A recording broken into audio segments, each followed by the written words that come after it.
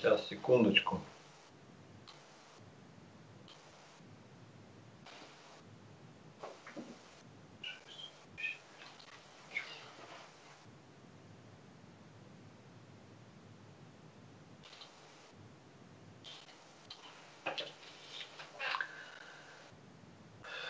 Продолжаем изучать пособие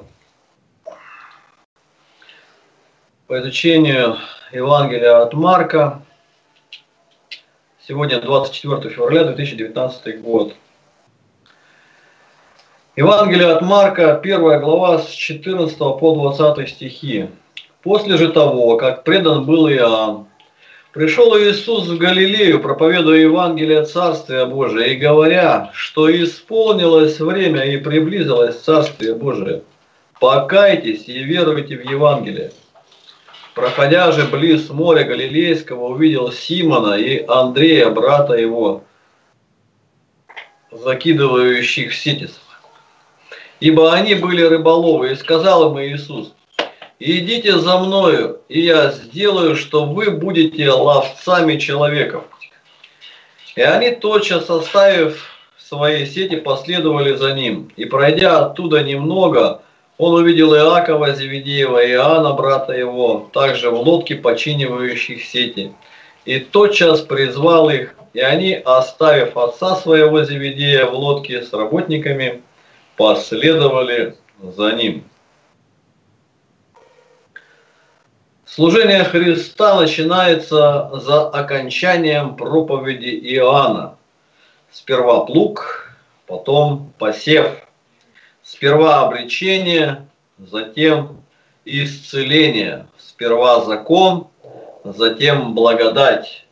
Евангелие от Иоанна, 1 глава, 17 стих. «Ибо закон дан через Моисея, благодать же и истина произошли через Иисуса Христа».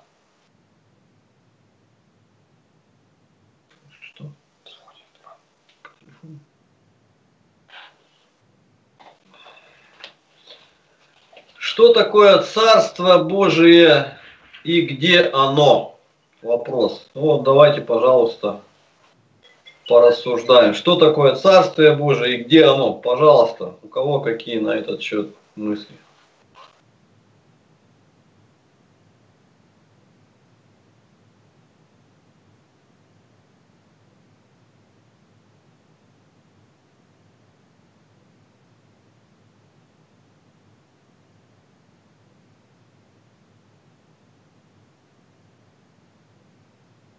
Пожалуйста, поактивней. Царствие Божие внутрь нас есть. Оно неприметным приметным образом не придет. Надо его изнутри воспитывать в себе Словом Божьим.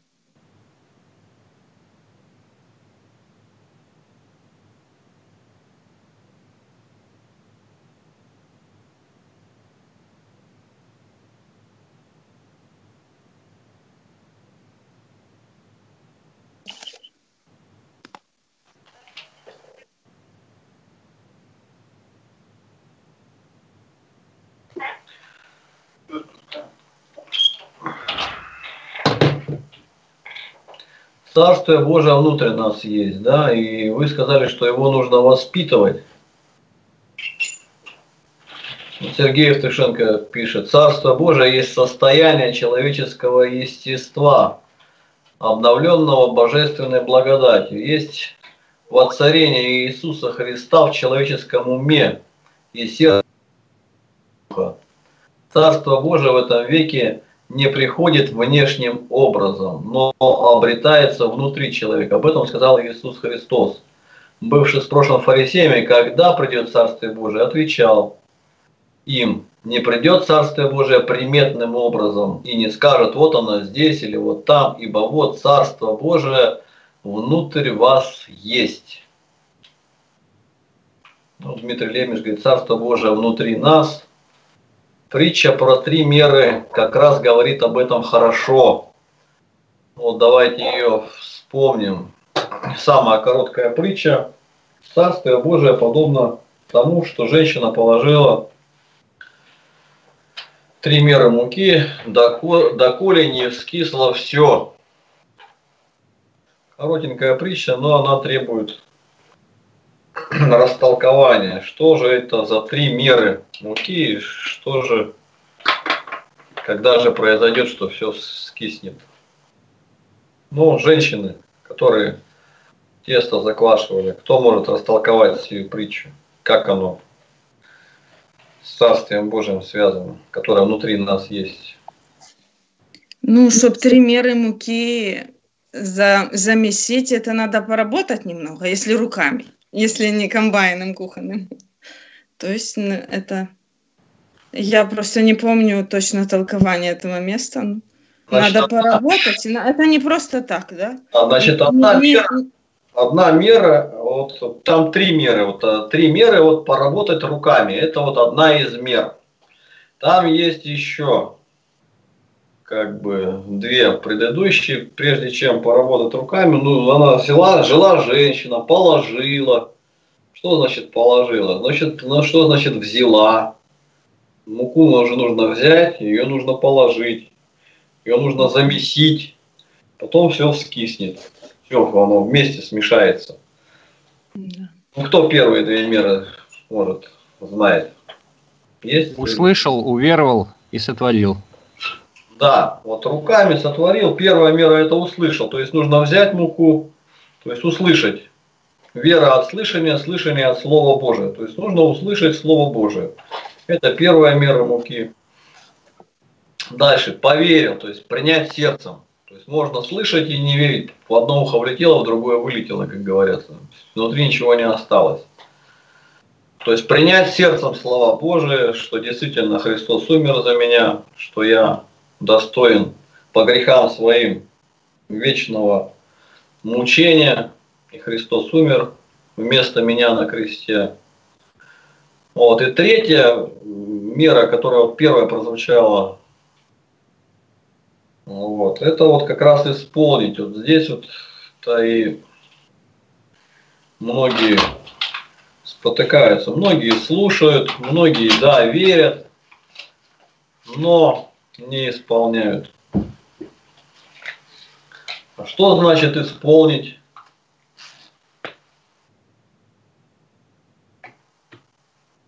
Что исполнить?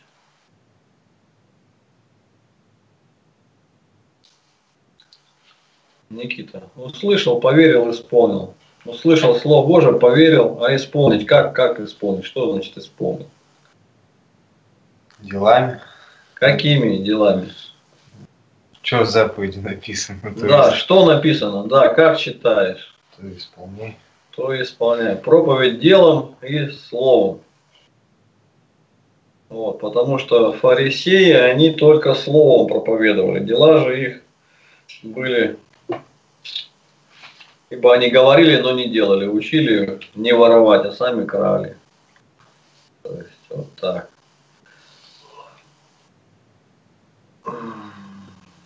Ну вот, значит, э, что такое Царство Божие и где оно? Вот над, над этим вопросом мы порассуждали, выяснили, что оно внутри нас.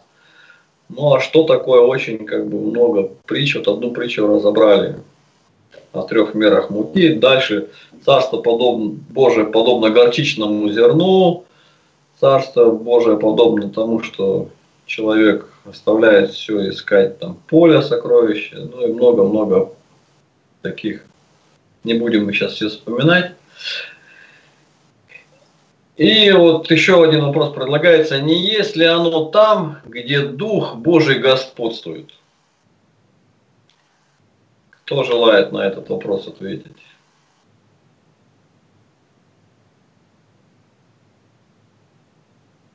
Ну, тут Царство Божие, то есть Бог царь, то есть Дух Его, Дух господствует в нас, то есть оно неприметным образом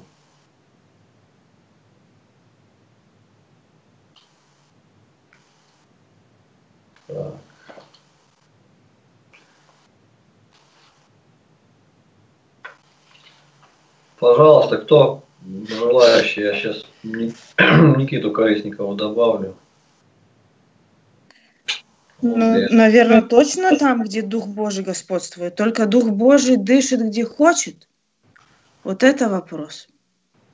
Как, чтобы он достиг именно нас, чтобы он был на нас, чтобы нам проповедовать. Вот в чем вопрос. Чтобы он захотел дышать именно в нас, что нужно да, да. для этого сделать? Угу. Очистить себя, не знаю. Не знаю, вот это очень сложный вопрос. Как? Потому что это от нас не зависит, а только от Бога.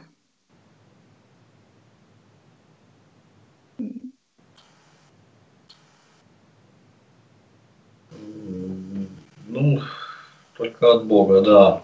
Бывает человек, вот говоришь, говоришь ему а Слово Божие, а он как, как не принимает, как закрыто. Да. Неужели Бог не желает как бы? Да, а вот сложно, даже, даже иногда боишься таким людям что-то сказать, вот когда чувствуешь, что будет, э, ну, будет противление, да, ну или будет, вот думаешь, лучше, лучше бы этот человек э, как бы не знал и там будет в своем счастливом неведении, чем если бы он будет знать, вот я ему скажу, а он скажет, нет, типа, я это не принимаю. Вот это, мне кажется, это очень страшно.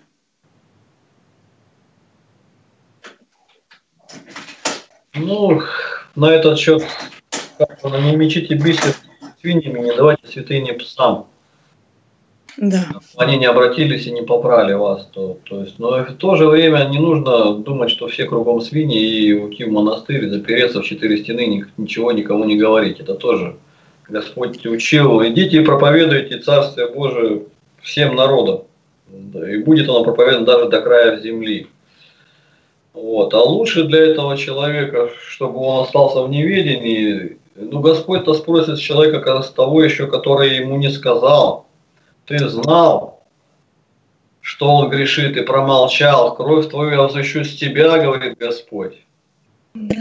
Ты ему говорил, а он не слушал, я его накажу, а ты спасешь душу свою. Но если ты молчал и не говорил, он погибнет в неведении своем, и ты за то, что ты не, не оказал ему любовь. Да, это мы знаем, да. Но там а, также написано, кто меньше, как там вот, кто меньше, э, кому меньше дано, или кому больше дано, с того больше спросится, да? Или как? Вот есть такая, я просто не помню. Ну, не помню стих да, точно. Да, такой. Есть такой. Но спросится то из тех, кто и не знал, а почему? Они же не знали. А вот за то, что не хотели узнать. А не хотели они узнать о Царстве Божьем? Каким образом? Вы подошли ему, сказали, вот я не хочу тебя слушать, оставь меня в покое. Все, оставь. То есть человек не избран. Угу. У него свободная воля в этом вопросе. Да, ну, ну вот, то есть, я так понимаю, не надо насиловать человека. Если вот видишь, что человек, нет, я не хочу это, это слушать, все, типа, иди тогда не надо как бы его постоянно надоедать. Это тоже, думаю, это тоже неправильно. Так же?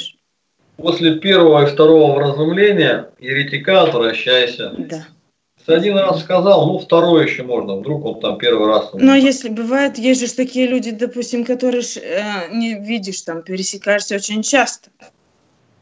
И, допустим, он, ты знаешь, он не принял, да? Но ты его там видишь, допустим, каждый день. Ты же не будешь надоедать ему каждый день и говорить, нет, это неправильно. Хотя жалко издалека этого человека, думаешь, вот почему так? Почему так? Почему так? Ну, я, я на себя нашел, потому что у людей э, сотворены, у них свободная воля. Свободна воля между выбором добра и зла. Да. И он свободен. И Бог действительно он насильно никого в рай затащить не будет. Он, желает, он не желает смерти грешника, не желает. Он хочет, чтобы все спаслись. Бог для этого все сделал. Он отдал Сына Своего Единородного, дабы всякий верующий в Него не погиб, но, но имел жизнь вечную. Все абсолютно. И винить Бога в том, что человек не принимает, или винить себя в том, что человек не принимает. Он тот человек сам виноват, то, что он не принимает. Не, ну я Бога не виню, я виню себя. Я думаю, значит, я не такая какая-то, значит, я фарисейка. Значит, я кажусь только там, только слова говорю, а по правде не такая. Я сразу как бы на себя стрелки. Ну, бывает, да, бывает так, что э, именно не, не верят из-за того, что вот фарисеям почему не верили. Что они говорили, они делали, и Христос говорит, по делам их не поступайте, ибо они говорят, но не делают. Но да. все, что они говорят вам, делайте, Христос учил так. А ты говоришь, как фарисейка, допустим, этому человеку грешному, mm. ты учишь его не воровать, а сама воруешь, как фарисейка. Mm. Да, ты, допустим. Ты меня, что ты меня учишь там? Ты смотри, сам, сама наворовала коттеджи и настроила, там меня учишь, что добродетельно жить. На себя посмотри. Это нормально. Но когда человек видит, что ты безупречно, нет в тебе греха, и он все равно тебя отвергает, ну это уже твоей вины в этом нет. Понятно. И, и не нужно себя корить и вот. Да, Корить себя нужно, когда ты увидел человека грешника и промолчал, не сказал, не остановил его. Вот здесь вот Господь тебя спросит, если ты не покаешься. Ты мог разуметь, но не поленился или там испугался, что у тебя неприятности будут из-за этого на работе. Начальника попробуй его обличить. У тебя нет сработает, и все, и вот. А, а что нужно в таких случаях делать? А молиться Иоанну Крестителю. Вспомните, как он он уже прекрасно понимал, чем грозит это. Голову оттяпают ему и все. Однако он не должен тебе иметь жену. Да. да, а есть такие еще такая категория людей, допустим, говоришь, да-да-да, да-да-да, я не отрицаю, но, допустим, он все продолжает так же самое, допустим, вот там что-то обличил, ты же ему сказала, он как бы делает вид, что все. Ну, да-да. Э, люди, такие. не желающие тебя обидеть, э, говорят, ну пусть, пусть. Об этом мы послушаем в другой раз, как бы, вот, да. если слово можно. Хотелось добавить за этих людей. Вот эти, там, некоторые так молчат, да-да-да, а некоторые говорят, я там или мы, там, например, супружеская пара, да, и мы хотим, или я хочу взять от жизни здесь, сейчас, все, а потом уже будет потом. Если а такие... там будет потоп, да, как говорят. Да. Расти. Да, то есть один раз живем, такая у них вера.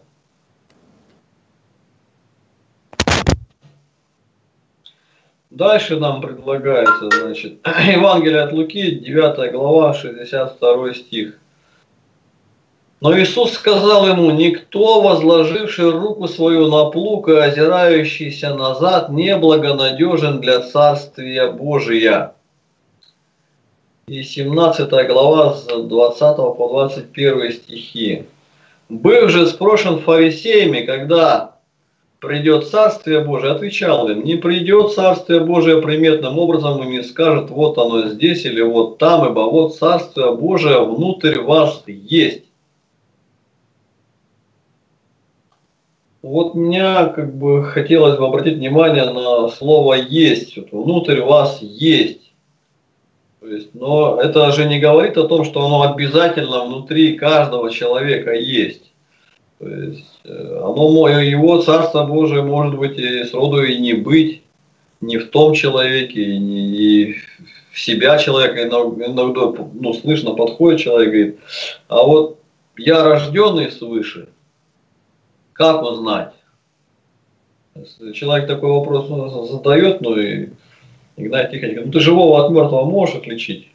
Ну, конечно, мертвый он не дышит, не, не смотрит, не холодный, а живой он ходит, там, разговаривает, деятельность проявляет. Также и в духовном плане. Если человек духовно деятельный, то есть э, он собирает другие души, хочет так же, чтобы, как и он, все познали радость от этого Царствия Божия, когда внутри царствует Христос, а не дьявол, когда он освобожден от рабства греху. Он хочет этой благой вестью радостный поделиться со всеми. Пришел Христос, Спаситель, Он спасет от греха. Вам не нужно будет больше мучиться совестью, что вот вы делаете грех и не, и не можете остановиться. И ничего не с этим не можете поделать. Вот. Человек начинает прислушиваться, да, совесть его обличает, он, а как, как это у тебя получилось? И ему рассказываешь вот, из своего личного опыта, как это со мной произошло. Вот. У каждого пути разные, Господь по-разному приводит. Но здесь вот а, из вас сделают, будете ловцами человеков. Они ловили рыбу, то есть он их на рыбе поймал. Другого еще чем, на чем-то. Вот Игнат Тихоновича на языках, он изучал языки и прочитал, что вот заговорили на иных языках сразу, не обучаясь. Да не может такого быть, не верю. Вот. И вот на этом неверии Господь ему помолился, и сразу вера пришла. Да, все. Если бы было в Библии написано, что не кит Иону проглотил, а Иона кита, я бы все равно тоже бы поверил. Такую веру Господь дает по молитве. Иван... Павлович, да. Мы зря упустили Матфея 12.28. Давай, сестра. 19.23. Вот Матфея 12.28 нам говорит, если же я Духом Божьим изгоняю бесов, то, конечно, достигло до вас Царствие Божие. И дальше. Ну, да, 19.23. Истинно говорю вам, что трудно богатому войти Царствие Небесного, Небесное. Еще говорю, удобнее вам, ну и так далее, про верблюда здесь. Это уже, да. это уже 24, 24 стих. Это все места, говорящие о да. Царстве Божьем. Ну и давай Марка 10, 14 уж за, за одним. Истинно говорю вам, кто не примет Царствие Божие как дитя, тот не войдет в него. Вот, еще. То есть о Царстве Божьем очень много говорится в Новом Завете. Вот.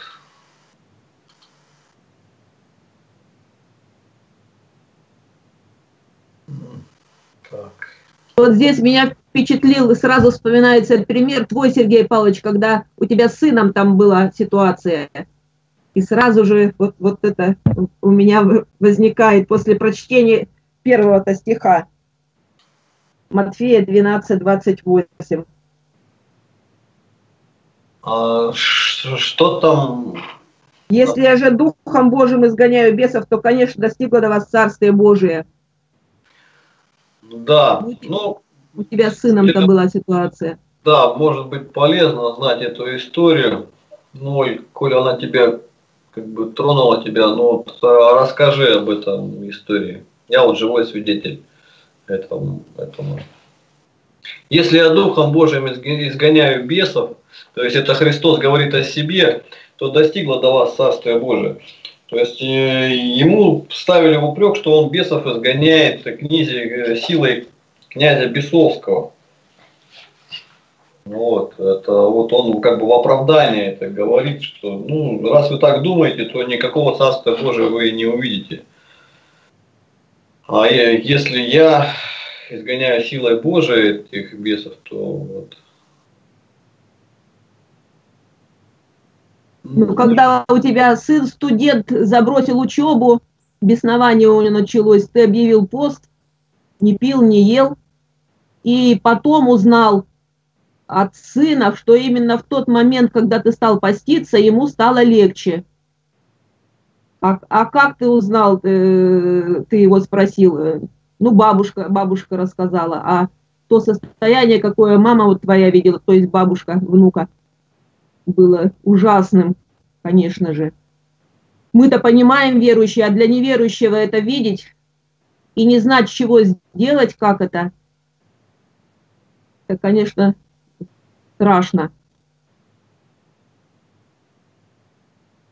Да, я, меня сыну поставили диагноз шизофрения. Вот. И я когда начал изучать этот вопрос, то есть шизофрения, она по-другому переводится еще раздвоение личности. Ну а на наш как бы церковный язык это беснование, то есть без человека входит злой дух и начинает им руководить, человек сам не понимает, то морду кому-то там заехал, то там, как он говорил, что он может в огонь прыгнуть, может в воду. Вот, сын мой на вязках лежал, то есть я пришел, когда в психиатрическую больницу, я увидел на нем следы, как от, от вязок, ну, как от наручников. То есть его пришло, приходилось привязываться, то есть он не понимал, что с ним происходит. Вот, и никакие таблетки не помогали. То есть таблетки это психотропные вещества, это химические наручники. То есть чтобы человека не, не постоянно ну, не держать в смирительной рубашке, ну, психбольницы там надевают смирительные рубашки, там, или, ну, наручниках это, конечно, ну, навязки их привязывают.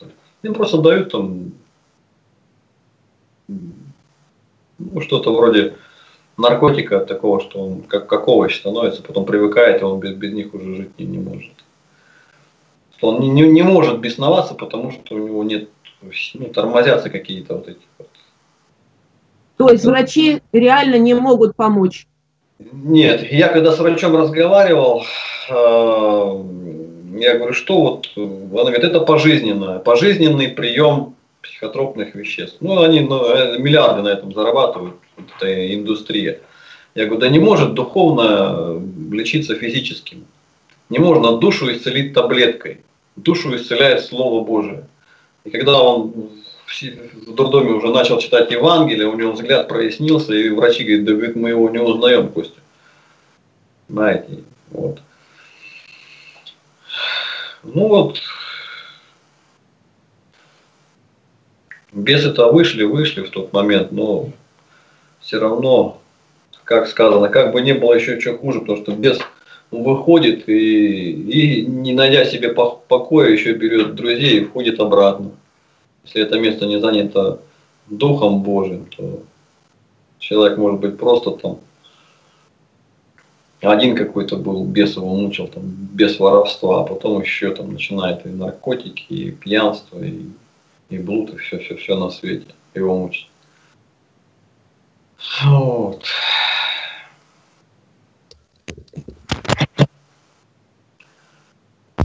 Ну и дальше давайте продолжим. И Иисус отвечал, царство мое не от мира сего.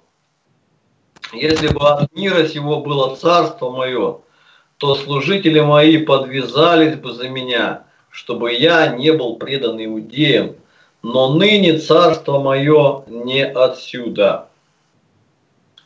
То есть вот это нам тоже нужно четко понимать. То есть царство, мы как привыкли, царство – вот Римское царство, и вот царство было вот Российская империя, там СССР было великое государство, царство, то есть все это разрушено.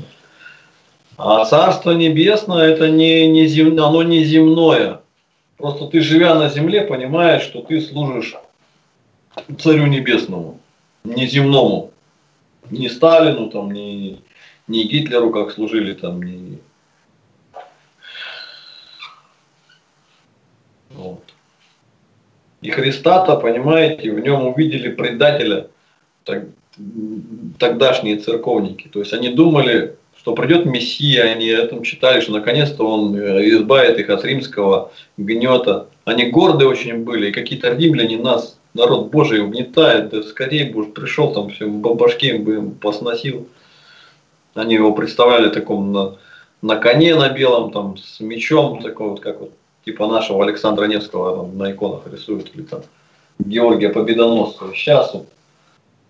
А он нет, на ослике въехал, кричали ему Асана, на следующий день распяли.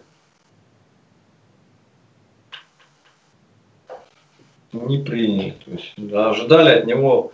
И сегодня иудеи до сих пор ждут эту миссию, то есть сделать рай на земле. Это большая утопия чудовищная утопия. Рая на земле никогда не будет. Он будет на небе. Будет мир и безопасность. Казалось бы, вот-вот, вот оно уже, вот долгожданный коммунизм нам обещали в 80-м году. Где этот коммунизм? Нет, нет его. Где бесплатная колбаса? Нету ее. Каждому, от каждого по способностям, каждому по потребностям, все, все, все равны. Да не, не могут быть все равны. Почему? Потому что одному Господь дал один талант, другому два, другому три. Все по-разному талантливые, все друг другу ну, служат. как могут. Все друг друге нуждаются. Так Господь устроил.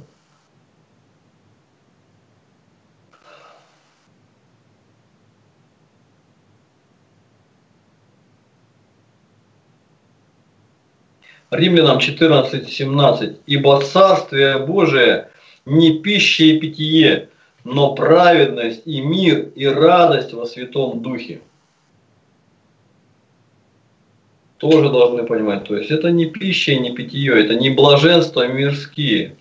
Это не бесплатная колбаса в магазинах, не, не, не бесплатная одежда, не, не комфортная жизнь, когда у тебя все есть, вот как вот, ну, европейские ценности, это Украина сейчас в Европу, что вот так, что там вот так все, все, ну, все так устроено, что все, зарплата хорошая, там жилье там почти бесплатное, там, я не знаю.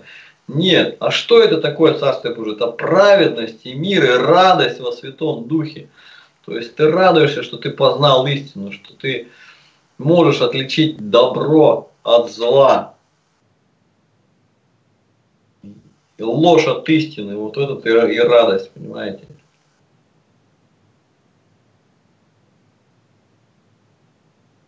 Три мира должно быть. Мир в душе, тебе должен быть, примириться с Богом и с людьми. Да, совершенно верно. Если ты говоришь, что Бога, которого не видишь и любишь, а брата своего ненавидишь, ну, о чем как бы речь? А когда ты любишь людей, когда ты тебя близкие отношения с Богом, когда ты постоянно благодаришь Его за те или иные благодеяния, обращаешься к Нему с просьбой, Он на твои просьбы отвечает, и ты вновь опять благодаришь. Ну вот это и есть и радость, и мир, и радость во Святом Духе. То есть Дух тебе подсказывает, что да, ты где-то там был неправ, согрешил, покайся, подойди к там, брату, наговорил лишнего или там, или наоборот, радуйся, что в ответ на обиду ты не ответил там, дерзкими словами, сдержался и благодаришь за это Бога, что ты так вот.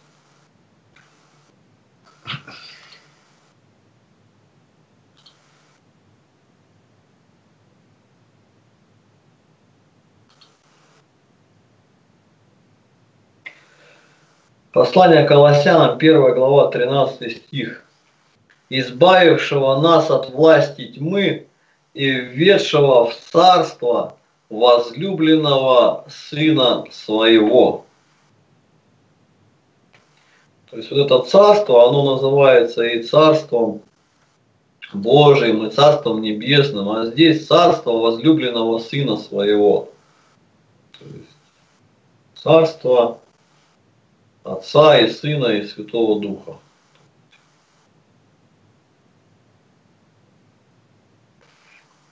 А напротив вот этого царства возлюбленного сына что стоит? Вот она власть тьмы.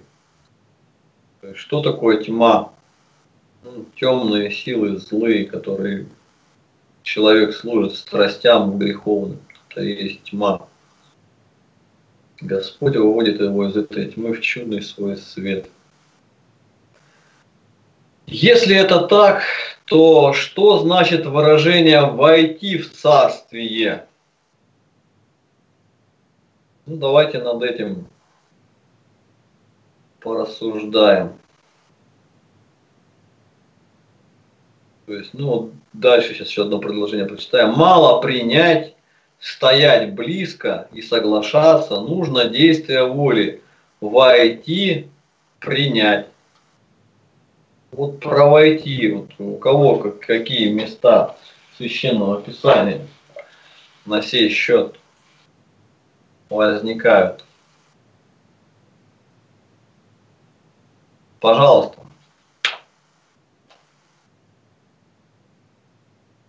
Ну, давайте поактивнее, не, не бойтесь. Что значит выражение «войти в Царствие Божие»? Ну и правильно, можно рядышком постоять, можно издалека посмотреть, как на землю обетованную. Господь обещал, обещал, но не войдете. Ничто нечистое не войдет в Царствие Божие. Такое, кажется, есть. Да. Возможно, что еще принять Духа Святого. Вот в Деяниях э, говорилось, когда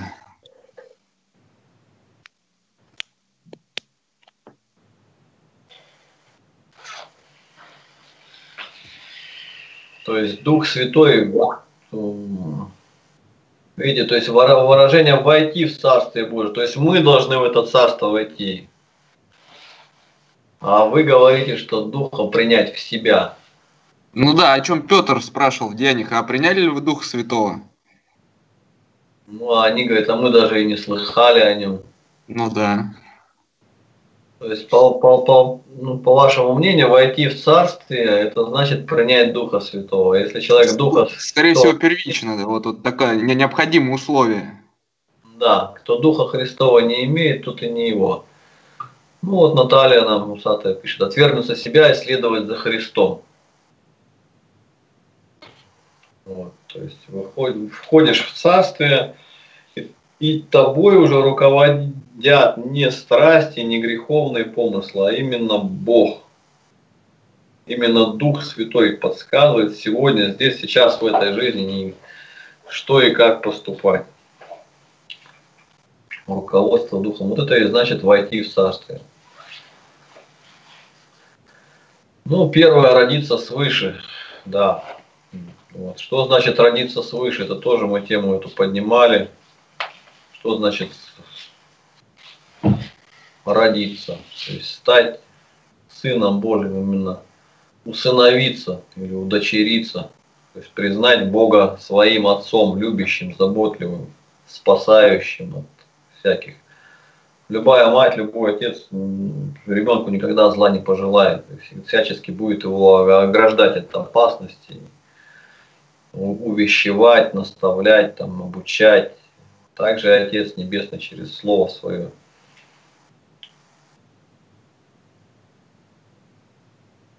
А вот такой вот рождение свыше и водительство Духом Святым – это параллельные такие понятия? Или одно понятие может существовать без другого? Я...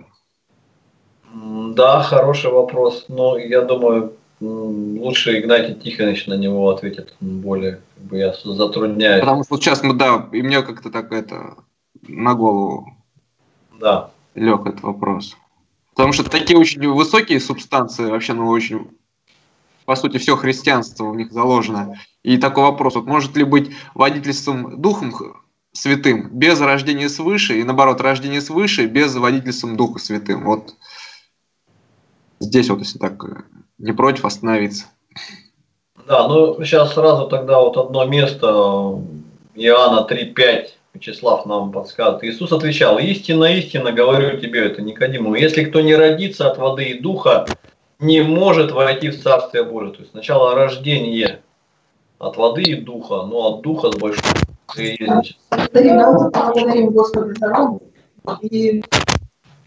Так. Угу. Вот. Ну, думаю, мы родились от воды и духа. То есть крест, крестились и принимаем же причастие.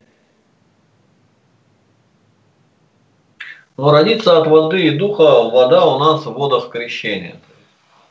Но и дух по молитве батюшки в, в, в этом таинстве миропомазания, оно у нас как бы два таинства, то есть мажет духом, маслом мажет и говорит, по какие слова. Да.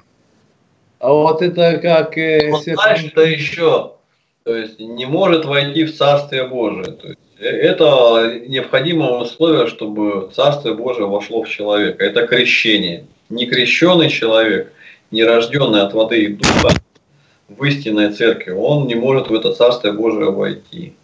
Не может, написано. Не войдет. И не примет этого Царствия Божия как дитя, тоже еще такое условие есть. То есть в простоте сердца, как дитя. А Наталья пишет, что крещение это завершающий этап. Завершающий этап оглашения, может быть, но не жизни в церковный. Крещение – это вход в церковь. Церковь – это ковчег, корабль, где мы спасаемся.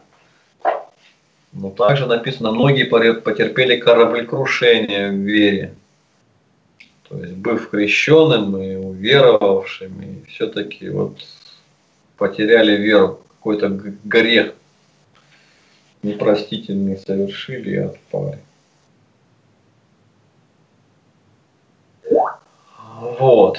Но разбойник не был крещен. Вот Виталий тоже пишет, тоже это вот из, из сектантских уст всегда вот это говорится. Тогда еще и церкви не было. Это исключительный случай. Да. Он был крещен в собственной крови. Так вот, святые отцы учат. То есть он крещен был. Он признал себя грешником, исповедовал Иисуса Христа Господом.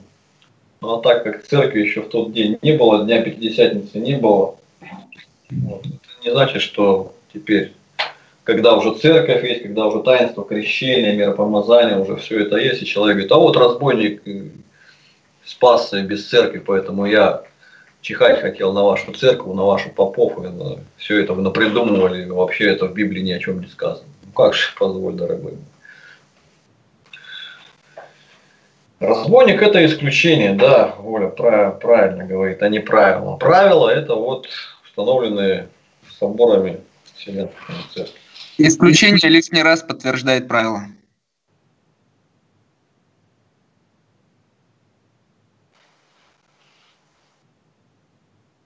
Давайте Игнатию Тихоновичу дадим слово.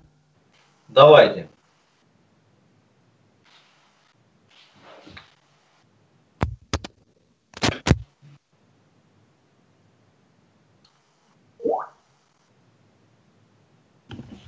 Вопрос-то в чем стоит?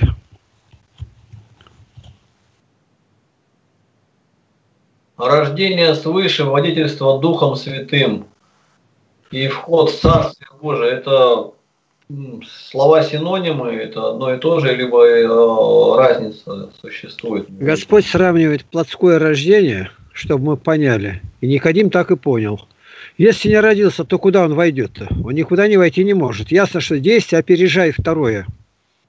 Прежде чем войти, надо родиться. Рождение – это первоначальный шаг. Из роддома еще не вернулся, а уже куда-то входит. Тут даже по смыслу не подходит. Это не параллельно, а последовательно, одно за другим идет. Родился свыше. А вошло ли, то есть он принял, все, уверовал. У него перемена мысли, все – но все еще остается по-прежнему там. Одно замечание сделали о бороде, все сбрил. То есть он уверовал, все, никакой силы, ничего нет. Почему неоднократно Господь указывает на это, что кто любит отца или мать больше, чем меня.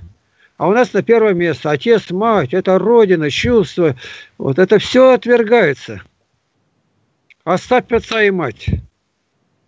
Господь сделает так, что все будут против. А почему против? Там настоящее рождение произошло. А если только один ходит в церковь с 5 на 10 раз в год, то никто там воевать против него не будет. Спокойной жизни Господь не обещал. Я посылаю вас, как овец среди волков. То есть волчья стаи везде воют. Это иудеи, которые не принимали, язычники, коммунисты, сектанты разные, еретики на будущее. Это сказано на все века. Итак, рождение свыше. Что оно означает? Это три, три ступени. Вот. Первое, которое все соглашаются.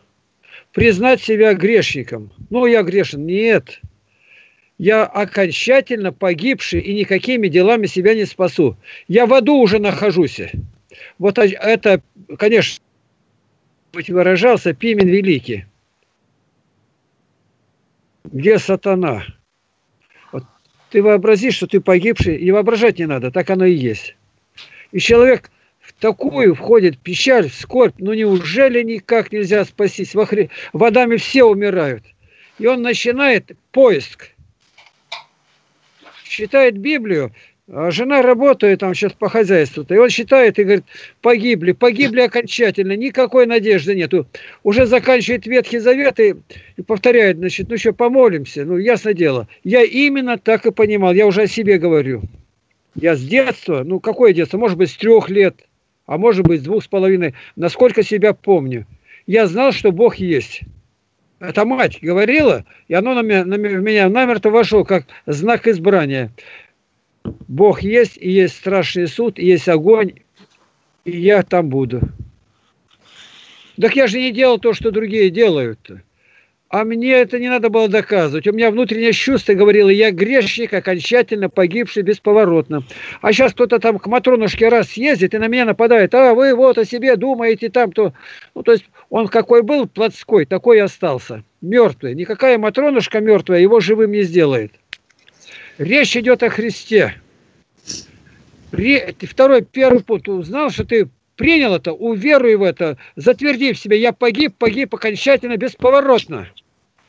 Но я же молился, Господи, прости. Надо запомнить одну фразу. Это мое изречение, я его сконцентрировал из других мест Писания. Бог никогда никому ничего не прощает за так. За то, что ты сказал, Господи, прости. Никогда никому ни, нигде не прощает. Сразу начинается ступор. Как так? Да как же мы молились? Еще раз говорю, ни за что. Просто так. Я сказала, Бог простит. Почему? У Бога нет такого свойства. Свойства у него нет этого. И никому никогда просто так он не прощает. За грех кто-то должен ответить. Это разрешается заместительная жертва Христа. Вот я все говорю почти все время всем. Вы верите, что Адам и Ева были в раю? Ну, написано, я верю. Мусульмане верят. Вот с ними легко разговаривать, даже проще, чем с православными. Ну, а ты веришь, что человек сделался смертным? Ну, конечно. Бог сказал, как вкусишь, так и умрешь. Значит, он не умер. 950 лет еще жил, а однако умер. Умер. А мертвел душой, уши перестали слышать голос Божий. Он не знает, где Бог. Он лишился рассудка, спрятался в кусы голозады, то его Бог не увидит. Адам, где ты? Вызов на покаяние. Я здесь. Что ж ты спрятался? Ты же никогда не прятался. Не брал ли ты из дерева? Как сказать? Да, брал. Я проклятие навел. Нет, не я, жена. А так легко на, на жену стискивать все это, спихивать, насколько это легко. А ты согрешила. Иные из подкаблучника, получается, что он каблуком забил ее уже до смерти. Вот такие люди, которые на зоне бывают там опущенные, мужики мужиков изнасилуют, и тогда он начинается опущенный, называется, петух, петухами зовут. Ну, они униженные, только у параши сидеть, на койке ложиться нельзя, табак лежит, вода, черпать ему нельзя. Только кто-то возьмет пригоршню, нальет ему, чтобы только к нему не прикасаться. Это римская, это, индийская пария. И тогда один предложил, ну давайте со всех камер-то соберем этих петухов-то с разных лагерей-то, да в одно место отправим, которые униженные, убитые, у них все отнимают, табака нету. Но никто не знал, какие последствия будут. То, что он сделался петухом, что он опущенный, в этом тоже что-то есть. Бог допустил. Насильно там в камеру бросают его, а там пять насильников. Я вот сидел с которым Сивер, а, а с ним еще один на пару шел. Бондаренко. Ну и он там не, не говорит. Они думают, он знает, а он не знает, куда деньги делись-то. Там траншеи копали, не копали. Он, взяли деньги-то, работы-то не видят нигде. Ну, подземная работа. Не скажешь, не скажешь. Пресс, пресс, называется пресс-хата, там прессуют. Ну, сбросили, то там шесть мужиков. Так ты еще такой-то ты не говоришь. Они его скрутили и изнасиловали мужика. А тут сразу обнаружилось, что он совершенно не повинен на этом стадионе, он и не был даже. Стадион строили в Мамонтово. Он пришел домой, зарядил ружье и себя застрелил пальцем ноги, и в себя и мозги вылетели. Это отчаяние. Я не случайно это говорю, что я погиб, погиб окончательно. Это надо так утвердить себе, чтобы никуда не дергаться. И когда этих разных петухов-то отдельно взяли в лагерь-то, у них уже в первый же день они устроили такое побоище, сказать даже нельзя. То есть они теперь друг на друге стали отыгрываться. Ложки затащили, черенок как бритва острый-то, завязывать глаза и маши, кто кого паразит. И пришлось заново их растаскивать. Там те в большинстве угнетали их, они ничего не могли сделать. А теперь тут свобода. В них оказался внутри сидит палач. А вот если я говорил так вот, э, чтобы понятнее было, я маленько расширяю. Я сижу в камере, я прощаюсь. Скажите, вот если бы сейчас сказали, вот вся власть вам переходит в тюрьме, а продукты тут все остались бы. Тут рядом женская зона, вход в нее есть. Ну, власти убрали бы там, потому что здесь ходят охранники, а рядом воинская часть, краснопогонники в случае чего там сразу они их прям мгновенно, они рядом с тюрьмой, через дорогу только, воинская часть, там расстреляют и что угодно сделают. Ну, вот я говорю, представьте, вы остались одни, что будете делать? Он говорит, да что, тут сразу поднимется такой, ну, и что будут они, насиловать, к женщинам пойдут, тут убийство будет какое. Ну, вы картину представляете? А с нами сидели, это директор за паровоз зашел и преподаватель второй группы космонавтов, Лозин Анатолий Максимович. Я говорю, теперь слушайте, что бы было у нас? Сейчас бы отдали власть и верующие все. Верующие, рядом женщины сидят верующие. Ну, сказали бы, из тех, из других одного представителя можно в город отпускать. Одного. Кому вы доверяете, что не бросит, не уйдет. О, безбожники говорят мне, он сразу зальется, назад не вернется. А что он вернется-то? Свобода? Я говорю, «А у нас нет. Он сразу пойдет в церковь, расскажет батюшкам, как было, как что здесь и все. Пройдет время какое-то, у нас будет священник здесь, рукоположит. А потом женскую зону, тут знакомство будет, свадьбы играть будут. Ну, раз длинные сроки-то, по 25 дали-то. И вот здесь мы должны понимать, вход в Царство Небесное. Вход. Родились когда, теперь э, дана власть, и ты избираешь ее. Ты входишь в это царство любви, царство послушания. И вот согрешил я, это мусульманину продолжаю говорить, ты веришь, да, в какое наказание? Не знаю. Ну, я говорю, у меня в саду бы, если они рвали ребятишки, ну, сорвали по яблоку, да я бы им еще за пазуху натолкал, ну, как здесь вот сейчас есть. Мало того, я пошли домой за ведерком, ведерко набрать. Здесь один плод, ну, одна груша, одно яблоко, так назовем. И умерло уже от этого больше 100 миллиардов людей. Даже 100 человек э, выложить в ряд мертвые, и то жутко будет. А это не 100 тысяч, не 100 миллионов, а 100 миллиардов. Вот за эти семь с половиной тысяч лет. Это примерно подсчет такой. Ну и как? А как спастись? Кто-то должен прервать эту любовь. В Адаме все умирают. А Адам не может быть другим? Может быть. И второй Адам – это Христос. И второй Адам, там был поражен Адам чем? Дева, древо и смерть, Златоуст говорит. Дева, Ева, древо познания добра зла и смерть Адама. В Адаме все умирает. Это трезубец. Вот когда такой зазубринами, и когда рыба проплывает большая там под лодкой-то, и в нее втыкает острога. И она трепещется, его таскивает. Это дьявол поразил род человеческий. Христос вырвал этот трезубец и ударил дьявола. Дева, древо и смерть. Дева, Ева, это Мария Дева, древо, честный животворящий крест на Голгопе и смерть, смерть Христа. Вот я говорю, умереть кто-то должен. А кто? Руководитель ваш, что создал вашу религию, мусульман, он не умер. Он умер, но умер как сам за себя, обыкновенно там-то. Отравили, считают его. А Христос распятый за грехи. И омытый кровью. Грехи всего человечества, от Адама до последнего. Если бы таких э, земных шаров было тысячу, или даже галактика полная жертвы Христа хватило бы, чтобы спасти всех. Вот это надо просто знать. Это первый шаг. Когда ты уверовал, что ты погибший, теперь поверь, за тебя кто-то должен заплатить. Это Христос. Это вторая часть рождения свыше. Я каюсь и прошу, Господи, возьми мой грех на себя. Господи, прости меня ради жертвы Твоей. Господи, я верую в страдания Твои за меня. Ты умер за меня и кровь свою пролил, страданием на кресте меня ты искупил. Вот теперь я согласен, ветхий человек умирает. Куда идти на крещение? Сегодня не крестят. Это безумие из безумий. У католиков вообще не крестят. Брызгают кисточкой. А это Иерусалимский Кирилл говорит, как человек скрывается в воде, в воде, когда крестят, так умирает он. Во имя Отца Это символизирует и Сына, и Святого Духа. Трижды погружается во имя Святой Троицы. Все, он выходит уже совершенно другой. Другой. Павел Олепский приезжал, когда в 17 веке, и он это все описал. Крестили каких-то иноземцев, ну, может быть, там Манси, а может, Камщедалов. И когда они входили в воду, и когда выходили, это, говорит, разные люди были, сияли, буквально сияли. Благодать коснулась.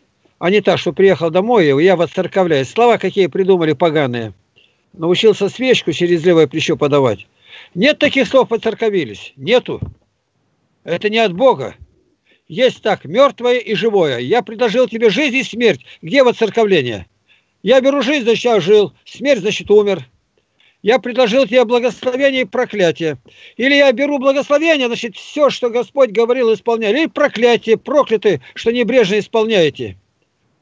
Иеремия, 48 глава, 10 стих. Проклят, кто дело Господне делает небрежно. А как узнать? Ну, я выщу, выщу, вычищу навоз у коров. Божье дело или не Божье-то? Еще и поговорить надо. Ну, что делает крещение поп, священник-то, пресвитер, епископ, патриарх? Ну, это-то Божье дело, Божье. И патриарх Кирилл держит ребенка, фотография одетого. И ладошкой черпает воду и улыбается, стоят там, видимо, Алфеев рядом. И кто не видит фотографию, можно поставить даже. Это нельзя назвать иначе, как разбойники. Пираты захватили... Ну почему не погрузить-то? У тебя же купель здесь рядом-то. Довольные все улыбаются, то есть мертвые, не рожденные свыше. Рожденные свыше заканчивает рождение в воде, рождаясь. Он не может на это согласиться. А люди свободно идут, платят деньги. Деньги платят, это таинство нарушено. Это симония. Это смертный грех. Они ничего не чувствуют. Они защищают именно вот так. А какая разница? То есть они мертвы. Мертвому и после смерти обрящут лишь смерть. Как Достоевский говорит о великом инквизиторе. вот. А теперь человек рожденный, он знает, я погибну, я родился, но я вот настолько несовершенный. Я ничего не хочу, кроме Божьего. А везде все мирское, везде грязь, везде привычки, везде гонения. Господи, впусти меня в Царство Твое, когда он уже полностью проникнет в Священное Писание, со Христом царствует, мы с Отцом придем, обитель у него сотворим. Он не может курить и проще пака сделать-то. Человек, рожденный свыше, он никогда бороды не коснется. Он чувствует, что это нельзя, это безобразие. А сегодня надо доказывать, что доказывать-то? Ты не рожденный свыше, не прописан на небе, тебя в книге жизни нету. Избранный Богом человек, он никогда даже в уме не допустит. Он намертво будет стоять. Вот на меня сейчас нападает везде буква, он, он проповедует букву. Да сейчас народ другой, да нельзя те э, эпитемии давать, насколько отлучают там женщин за забор 10 лет, до них никто не придет. То есть они не просто говорят, а называется по-славянски блядословят блядословят. То есть блудно искажают слова. Кто вам дал право отменять? Ну, это они, святые, теперь каноны недействительные. Это разбойник стоит, отойди от него. Отойди, уши заткни. Отойди от него. Буква. Эту букву кто создал? Бог в букву заключенный смысл, а он думает, он говорит, буква, значит так. Вот вы знаете, никакой любви к Богу нет, а ему лишь бы точно исполнить. У него в лагере была женщина, болела, голова болела, а он на работу ее посылал. Ну, во-первых, что болела, она не болела, еще доказать надо, она не хотела рано вставать. А мне голова болит, ну еще, что, она отвалится что ли-то? Дети пошли, и ты с ними иди, чтобы скупались до завтрака, дальше работать будем у тебя кровообращение будет сильнее, и ничего у тебя не будет. Ну, болит, ну что она болит-то? Рана какая у тебя? Почему ты решила, что в горизонтальном положении она болеть не будет? Наоборот, лишнее давление, у тебя голова кружиться будет. Вставай, вылазь отсюда. Да, это считают грубо. Ничего грубого нету здесь. Я хозяин, это мой устав. Вы ко мне приехали и начинаете командовать. Ребенок это видит. Она лежит, он завтра, у меня тоже голова болит. Встань, выйди отсюда. Не нравится устав? До свидания. В лагерь уже не заходите. Сейчас накормим за пределами лагеря. И до свидания. Все, разговор окончен.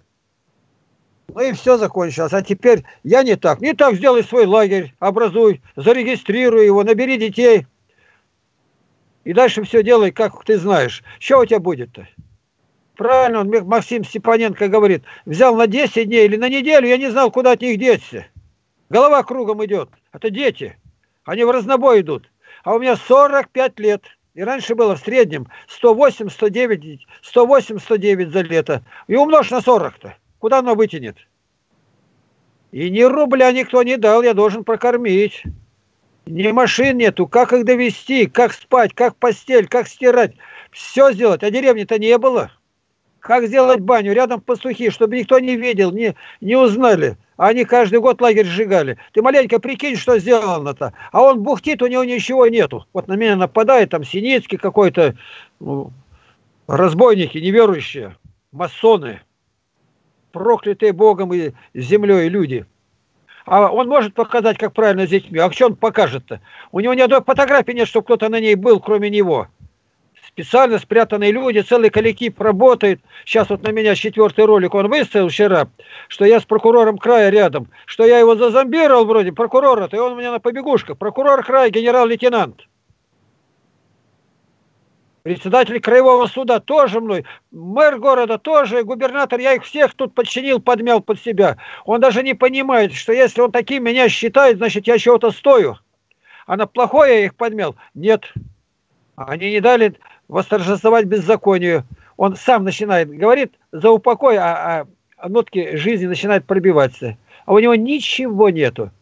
И своих людей посылает, а вот про тебя такая биография, да это я написал, простите, я белый лебедь. Он лебедь, черный демон. Это выкручивается все это. И только считаю, я вижу открытый лист, он все говорит неправду, лжец, всякая от сатаны. Я попутно говорю, рожденный свыше это сразу понимает. Бог дает прозрительность. И вот этого, который нападает Синицкий, я ни разу не слышал, как он говорит. Только глянул один раз, у него на лице написано отступничество, предательство, злоба, хитрость, ложь, все, пищать на лице. А вокруг него машкара крутится, и все, его держат, обеспечивают, хорошо заплатят ему, 10 лет нигде не работает. Ну, один ролик тому, на другого, на мне уже 4, и еще 44 может поставить. А почему? Рожденный свыше достоин того. Бог его особой меткой метит. Ты достоин, чтобы претерпеть это все. Тебе это не повредит. А другим даст пример. Это рожденный свыше. Я ушел, вошел в его царство. Гнали меня, будут гнать и вас. Гнали. Горе вам, когда все будут о вас говорить хорошо. Горе. Ну и что? А тебе ни хорошо, ни плохо не скажут, тебя нигде нету. А раз они все силы ополчили, Специально узнал я радиостанция «Свобода», масонская организация из Лондона. Заказали против меня статью местному журналисту. Щер... Черняков, кажется, его звать Александр Тихонович. Он приезжал в лагерь. Мне встретился и говорит, две недели, говорит, пытаюсь писать, еще не получается. Он знает только хорошее. Как? А, видимо, платили. А написать не написал. Ему пришлось бежать отсюда. Из Барнаула. Счетчик, видно, включили ему. Это я попутно все говорю. Итак, рожденный свыше понимает, где опасность. Чем отличается мудрость, мудрость от знания? Ну, человек знающий, он знает, как из ямы выбраться. А мудрый, а мудрый знает, как туда не попасть. Вот сделай различие. Тот из ямы в яму попадает, но все-таки вылазит, покается, на исповедь идет. А этот обходит его, он видит, что здесь опасно, в разговоры не вступает, туда не поедет. Вот сейчас тут начинает гей-парад на седьмое.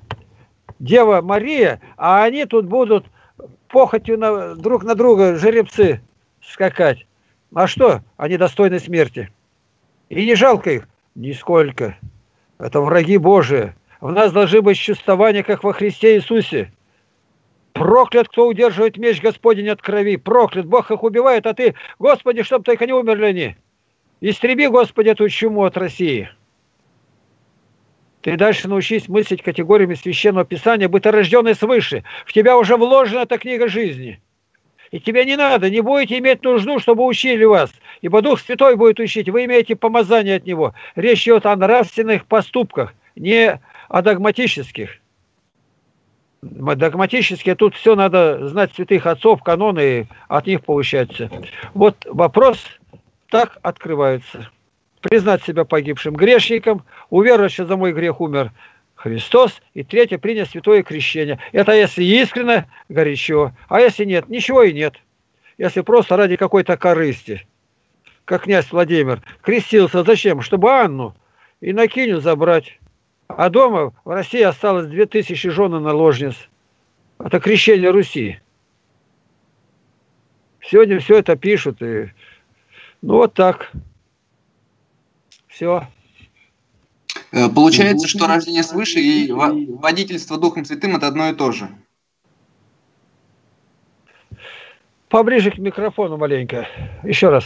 Э, получается, что рождение свыше и водительство Духом Святым, ну, это по сути одни и те же понятия. То есть это не, не различно.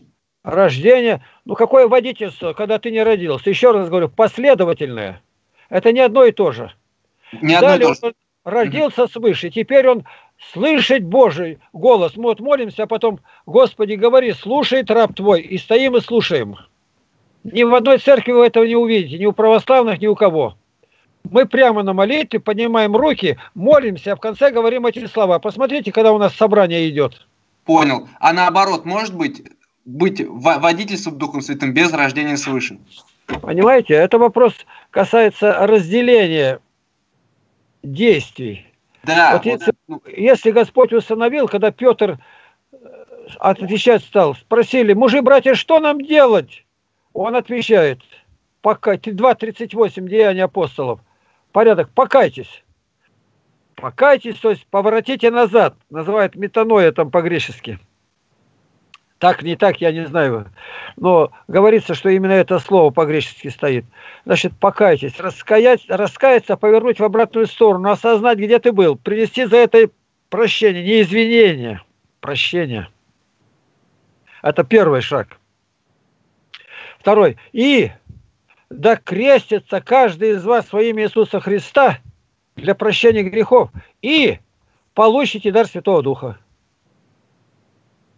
Но иногда это он, Петр, сказал людям. Людям, говорит Петр, твердо зарубите. Петр, апостол, сказал людям, такой порядок. Но Бог, господин субботы и господин этого порядка, Бог силен сделать перестановку мест. Покаяться, потом сразу дает Духа Святого, а потом крещение. А почему? Потому что не знали, можно ли принять язычников. Вот 10 глава Деяния апостолов говорит, Бог переменил место. А может ли, вот вам ответ на это? Может. Может, но только Бог. Нигде, ни в одном уставе у нас это не написано. Делайте помазание, а потом крещение. Помазание сошествие Духа Святого. Мы должны разделить функции. Так делает Бог, как господин этого действия, как господин суббота. А нам не заповедано. Нам нельзя делать. Менять это. вот и все. Ответ ясен. Вы поняли, да? Да, вообще все очень подробно, все понятно. Спасибо, Христос. Вот так вот это. Я поподробно говорю, потому что может у кого-то... Нет, очень еще... подробностью все ясно, да. Так, еще что? Знаете, легко отвечать тогда, когда ты это пережил. И самое-самое, а какое самое-самое, вот хоть что-то, надо знать. Вот мы, тут мы проходили откровение Иоанна Богослова, 17-18 глава Апокалипсиса. Ну и там город Великий Вавилон, сожжен будет город на семи горах, там Великая Блудница. Ну тут у нас был, его сейчас нету здесь, Сергей Ильин. Он начал спорить. Ну, видя, что у него тут не получается, я в этот спор-то вошел – я не спорю, я возвестил, но он понял, это так неотразимо, что ему говорить нечего. И, видимо, ему стыдно стало. И ушел там какая-то группа где-то, я не знаю толком что. Ну, там, я знаю по некоторым, там э, еретики собираются, отступники разные. Так вот такая у них группа-то. А теперь мне написал один, точно так же понимал, знаете, я вот дальше стал считать, уже прошло год почти. Все-таки вы правы, наверное. Я думал, это Вашингтон, он в Америке живет. Я говорю, Москва, Москва, Москва. 10 признаков. И при том Третий Рим. Что Вавилон это Рим, это уже с первого века знали Рим. Но Рим-то был не один. Они думали Древний Рим, где Папа Римский. Оказывается, второй Рим появился, новый Рим, называется Константинополь. Он так и назывался, Новый Рим. Теперь Стамбул. А Третий Рим, когда пало православие, там, 1435 году, тогда Россия сразу же подхватила это, что мы Третий Рим. Ни Греция, ни, Болга, ни Болгария, никто не претендовал на это звание. А у России даже сейчас, в настоящее время, в Москве организация Третий Рим. Третий Рим. Епифаний Славенецкий говорит так. Москва Третий Рим, а четвертому не быть. То есть его не будет. Никакое государство, никакой город на это не претендовал. Прямо мы Третий Рим. Подчиняйте. Мы Третий Рим, мы не сдадим позицию. Мы Третий Рим, нам замены не будет. А впереди какие были... О, в первую очередь сидит на многих водах. Воды народы. То есть это многонациональное государство. Какие признаки его? Богатство. Таких богатств в мире нигде нету, чтобы все здесь было. И бриллианты, и нефть, и золото ископаемые леса, воды, Байкал, самое крупное водохранилище пресной воды. Ничего такого нельзя назвать, чего бы у нас не было. И пушной зверь, и, он, ну, и от нее обогатились купцы. Обогатились. А от Америки не обогатились. Моя Америка только грабить умеет. Россия миллиарды, вот сколько нахватали у ней. Все простили, все списали. А это что значит списали? Туда гнали корабли, а на корабль заходит несколько составов. Какие корабли бывают, и нефть, и все гнали туда. Ну, бывает 110 тысяч тонн, а 110 тысяч тонн, это что? Состав полный, нагруженный, это не больше трех тысяч тонн везет электровоз. Но это уже попутно видно. Дальше, на семи горах на семи горах, а Москва семихолмовая. Ну тот это город дополнительно ты не сделаешь. Ну да, ну да. А еще и найдена кровь святых. Покажите, какая кровь святых в Вашингтоне-то. Ничего нет, а Москва залита кровью. Священников и мирян. Речь идет о сотнях тысяч, как в блокадном Ленинграде. Москва. Вызывали и там каких только не расстреливали, кого только не убивали. Все признаки показывают, это Москва. Москва сгорит. Вылазь оттуда, пока не поздно. В одну минуту сгорит. А как это? Ну как? Одновременно сразу полторы тысячи ракет падает на нее. Еще ты сделаешь бег перехватывать-то. А сегодня суперзвук, она со скоростью летит в 10 раз, кажется, быстрее звука. И что? С какой скоростью она попадает сюда? Спасения никакого нет. Это, кажется, выступал Ивашов, Ивашов, генерал-полковник. И он показывал, что защиты никакой нету. А от, от, от Союза полетят, у них говорит, тройная защита. Ну, отстают в этом вооружении. Так что надо вовремя мозги свои направить по нужному времени. Меня спрашивают, а вы никогда не понимали, что это Вашингтон? Никогда. Ни одной минуты. С первого дня я считаю, я считаю прямо на картинке, вижу, это Москва. Никто не говорил, толкования не считал. Мне это положено сразу первый раз считаю, и это как открытая книга. Почему? Ну, во-первых, я знаю, какая она.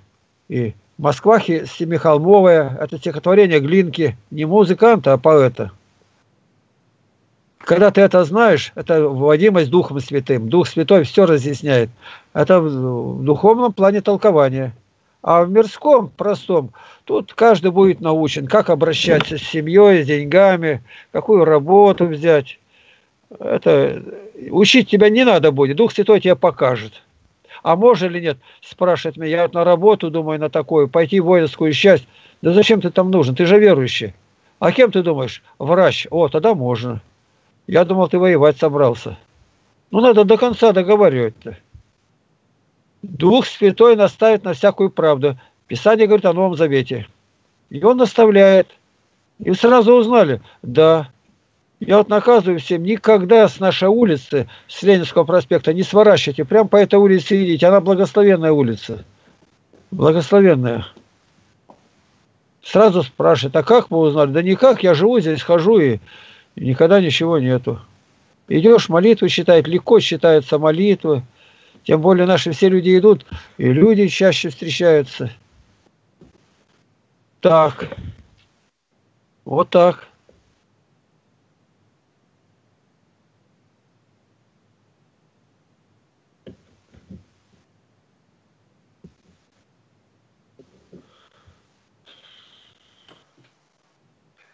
Еще вопросы у кого-нибудь есть?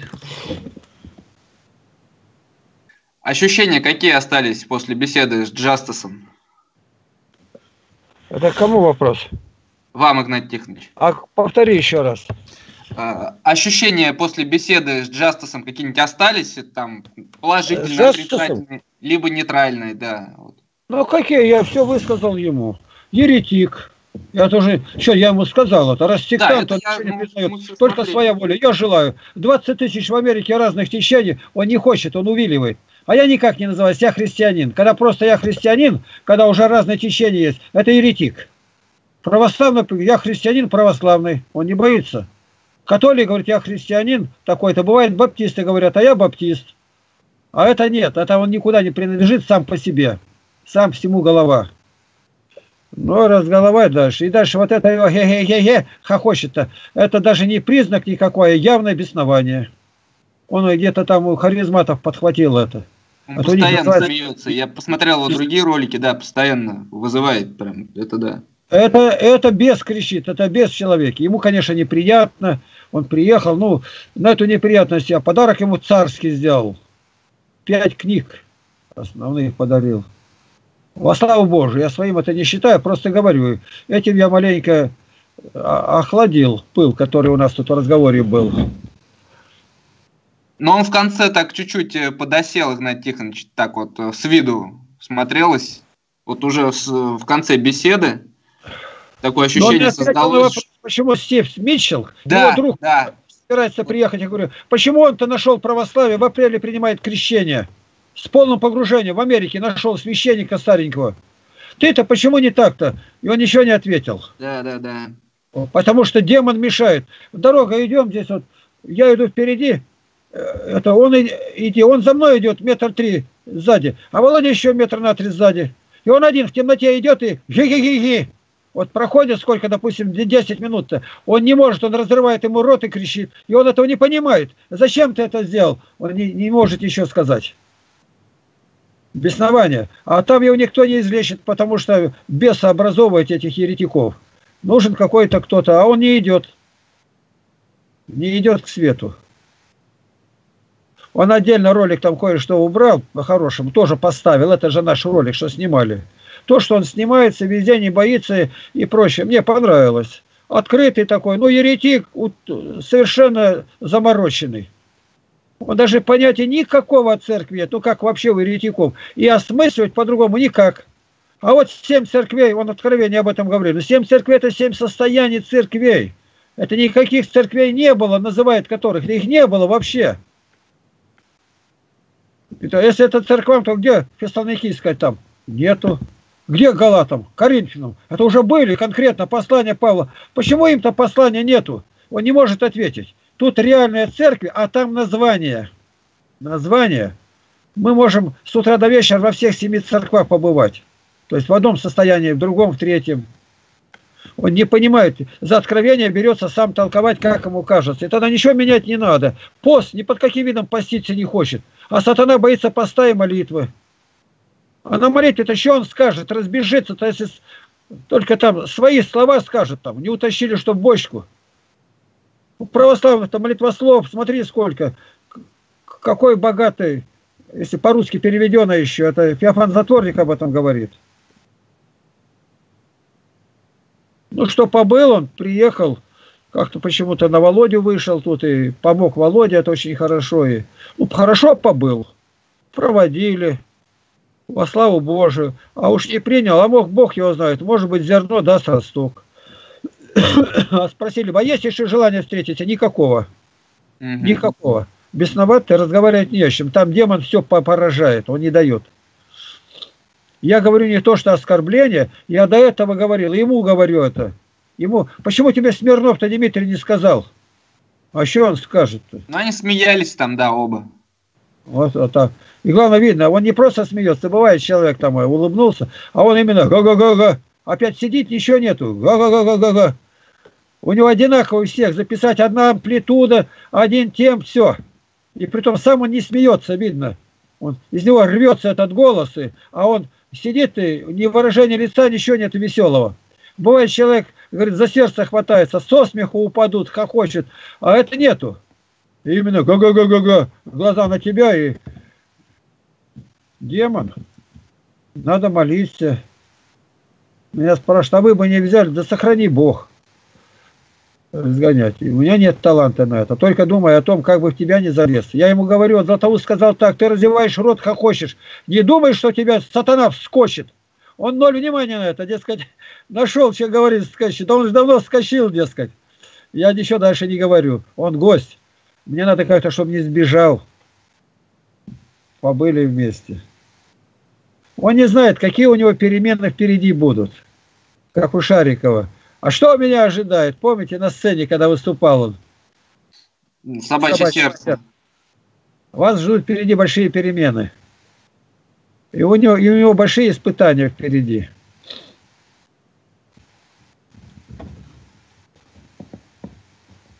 Э, странно то, что он так против э, там, Василия Великого, Златоуста настроен. А ему разницы нет никакой. Но он а вроде бы как читал, он, они же нигде там... отцов. Для одного. Назовут 1375 жития святых. Он ни одного не принимает. Почему? Он сам стал на их место. Он осудил всех, все неправы. Да, все да, вот это странно. Вроде бы он и знаком, он сказал.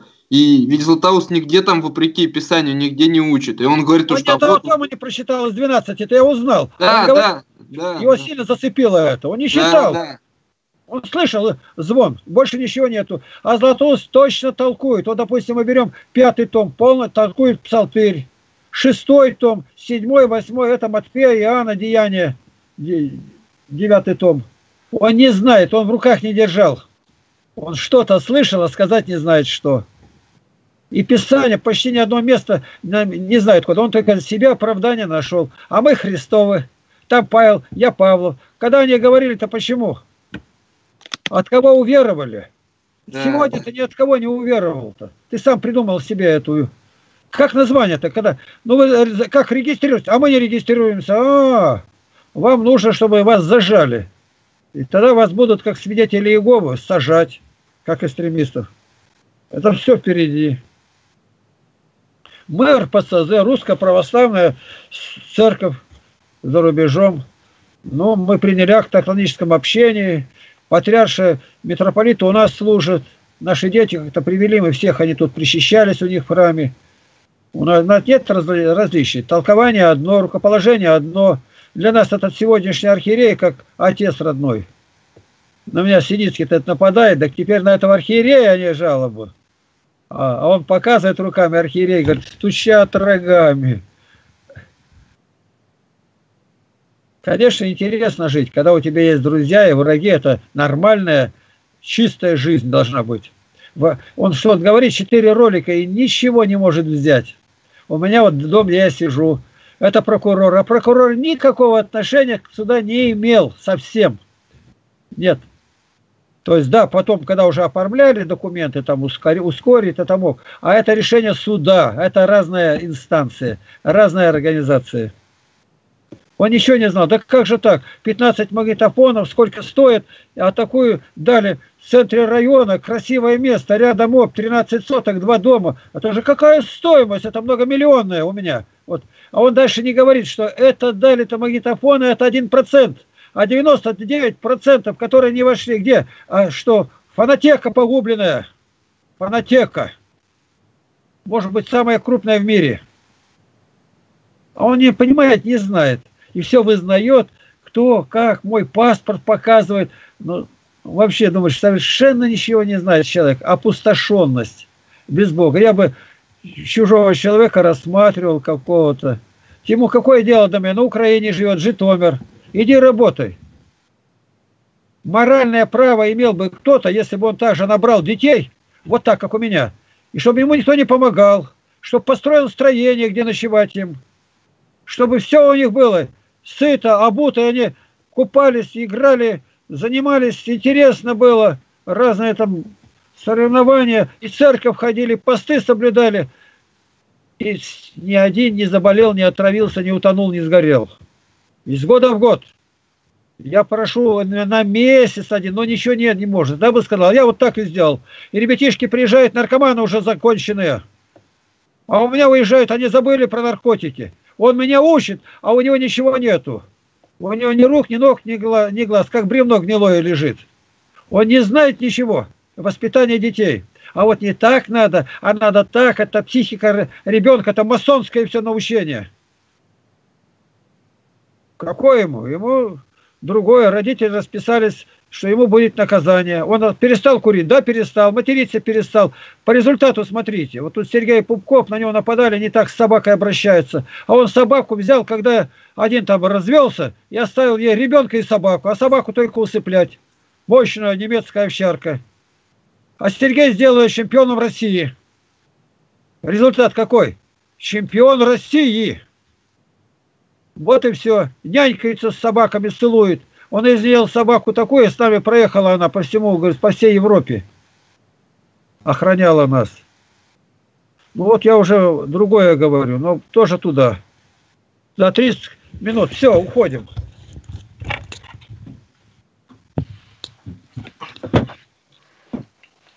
Достойно есть истину, блажите тебя, Богородицу, пресноблаженную и пренепорочную, и Матерь Бога нашего, честнейшую Херувим, и славнейшую без сравнения Серафим, без истления Бога словородшую, сущую Богородицу тебя величаем.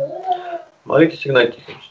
Милосердный Создатель, Господь и Бог наш, любящий наш Отец Небесный, мы славим великое и дивное имя Твое.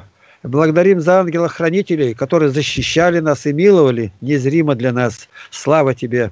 Этот воскресный день, как много дал нам, мы занимались Словом Твоим. Если еще погрешили, Господи, по легкомыслию, прости нас. Мы благодарим Тебя, что дал нам святую православную веру. Благослови патриарха, епископов, священников, паству и даруй всем духовное рождение свыше и водительство Духа. Тебе, Боже, хвала и слава. Отец и Святой Дух. Аминь. И наших болящих помилуй, и Владимира. Аллилуйя.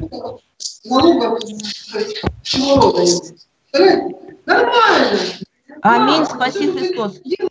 Спаси Христос.